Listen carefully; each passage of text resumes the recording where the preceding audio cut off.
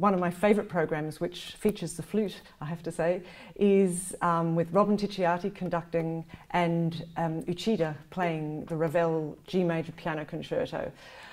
The program starts very interestingly with a Boulez piece, Memoriale, for solo flute, a small string group, and two horns.